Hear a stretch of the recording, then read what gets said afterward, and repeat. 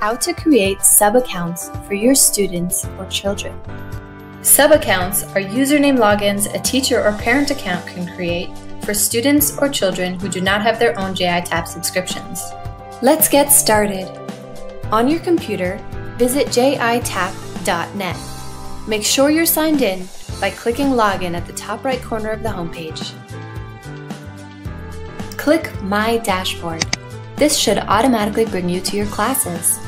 If not, click Classes. Choose a name for your class. Try to make it unique so students can easily differentiate. Then, add their group and school name, and click Create. For sub-accounts to receive assignments by more than one teacher or parent, you must make sure only one username is created. Others may then invite the sub-account user to their classes through the unique username already created.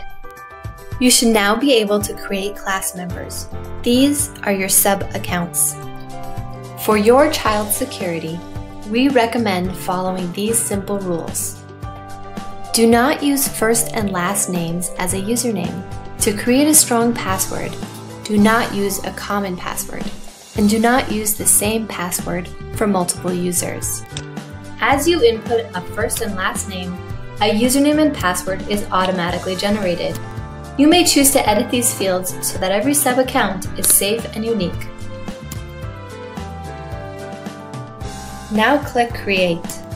Repeat these steps for each sub-account. When creating many sub-accounts as a school, it's a good idea to create a spreadsheet with student names and the usernames of their sub-accounts so other teachers can easily invite them to their classes. Now that classes and usernames have been created for your sub-accounts, they may be invited to other classes with their individual usernames. Don't forget to unlock data for all your usernames, or they will not have access to many of the JITAP's greatest features. Just click Unlock Data next to any of your class members, select All, and Update. It's time to print QR codes and parent handouts to make student login easier. Go back to your classes, members, and click on QR login cards. Parent handouts include username, password, and how to track progress.